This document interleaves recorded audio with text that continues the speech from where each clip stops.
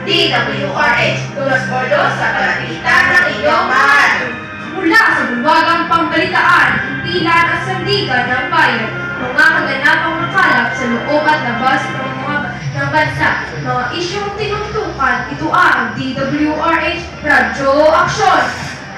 Sa loob ng limang minuto, maghatid ng balitang siksik, sulit na sulit, magandang umaga Pilipinas. Mga tambalang John Mateo Paz. At silent ang torse. Ito ang Dos por Dos Radyo Aksyon. Sa ulo ng mga balita. Pa sa balitang pandaigdig, Cyclone Mocha itinuring na malakas na bagyo. Para sa balitang nasyonal, 4,000 inmates pinalaya ng Bureau. Pa sa balitang lokal, National Task Force nagre-review ng pag- magpatupad ng senior high school program. Para sa balitang sports, pasok sa finals ang Gilas Pilipinas sa finals 32 seconds Southeast Asian Games. Ang oras natin ay tatlong minuto makalipas ang kalaguna ng hapon. Araw ng Huwebes, ikalabing walo ng Mayo, taong 2023. Pa sa balitang pangdaigdig, Cyclone Mocha. Tinuring na malakas na bagyo. Ramon, ibahagi mo. Cyclone Mocha ay tinuring malakas na bagyo. Cyclone Mocha ay tinuring na pinamalakas na bagyo at tumama sa bansa. Ang Cyclone Mocha ay mayroong lakas na hangin na abot ng sa 200 at siyam kilometers per hour.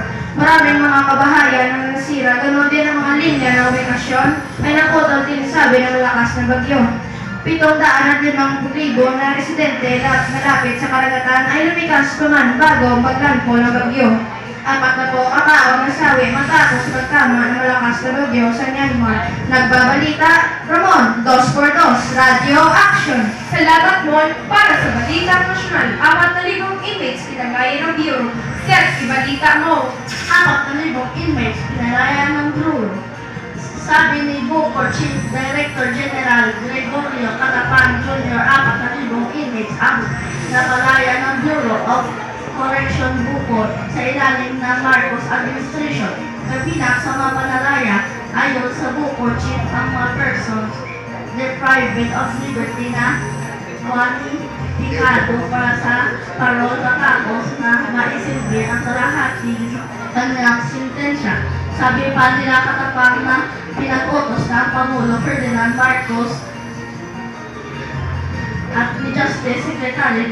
Jesus Crispin Remulla ang pagpapalaya sa marami pang mga inmate na matanda. Sa dinikaya nagbabalita sa Dos por Dos Radio Action. Salamat, Mon Pasi Sampalan. Magbabalik po ang 2 por 2 Radio Action.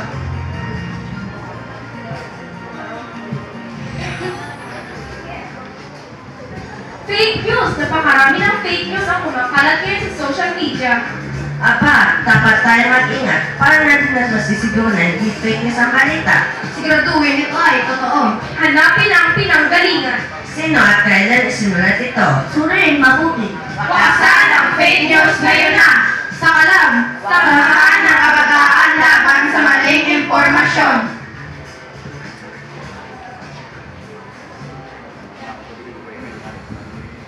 Kayo patuloy nakikinig sa DWRH 7% kHz 2x2 Radyo Akan para sa ating balitang lokal, National Task Force nagre-review sa pagtutupad ng senior high school program. Seth, ibahagi mo. National Task Force magre-review sa pagpapatupad ng Senior High School Program ng organ ng organisa ang Department of Education and ang National Task Force magre-review sa pagpapatupad ng Senior High School Program.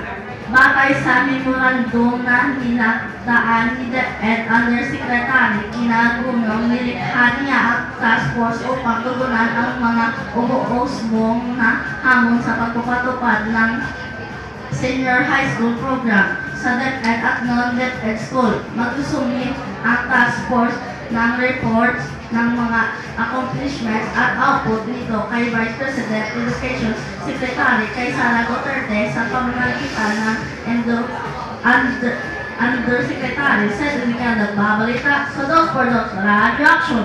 Salamat, Seth, para naman sa ating balitang sports. Pasok sa finals ang Gilas Pilipinas sa finals ng 32 seconds Southeast Asian Games. Ramon, pasok! Pasok sa finals ang Gilas Pilipinas sa finals ng 32 Southeast Asian Games. Pasok pa sa finals ang 32 Southeast Asian Games ang Gilas Pilipinas. Tinalo nila ang Indonesia 84 sa 76. Sila nakangiti ang Gilas sa Indonesia. Talunin sila noong nakaraang SEA Games sa Hanoi, Vietnam. Naguna ang panalo ang Gilas sa naturalized player Justin Bradley. Nagtalaga ng 34 points, siyam na rebound at limang assist. Nakalalaman, nakalalaban ng Gilas, Pilipinas ng Cambodia. Tumalo nitong kanilang nilang Huwebes sa score ng 7 siyam sa 6 na Ang final sa men's basketball ay naganap sa araw ng Martes, Mayo 16 ng alas 6 ng gabi. Nagbabalita, Ramon, 2 por 2, Radio Action. Salamat, Juan. Iyan po ang limang minutong pagbabalita mula sa istasyong di naman naghahatid ng balitang sa iyo, kundi balitang tumatatak din sa inyong puso at diwa. Ito ang inyong tagapagbantay, John Mateo Paez. At lagi niyong kaagapay sa Rin Arthursen. Balitang tapat, balitang sapat. Lahat ilalagtad sa iyo'y narap. Dos por dos, Radyo Action. Bataan ng bayan, boses ng katotohanan. TWRH, dos por dos sa palapitan ng iyong mga radyo.